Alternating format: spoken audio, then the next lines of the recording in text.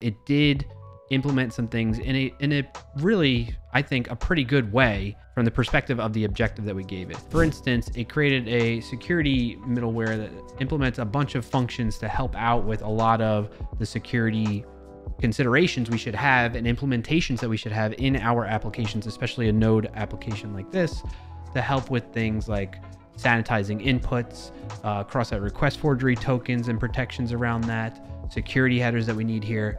In fact, so much so that it introduced that I need to look into a little bit further because I'm not familiar with it, but there's this package called HPP, which is a package that is built for Express middleware, which is the technology we use as a web framework for Node.js oftentimes, and its middleware capabilities to protect against HTTP parameter pollution attacks.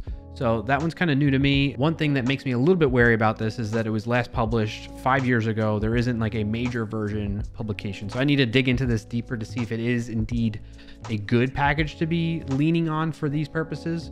But it at least raised awareness to me of the existence of such a thing uh, or a package that we can maybe leverage for security purposes in our applications here.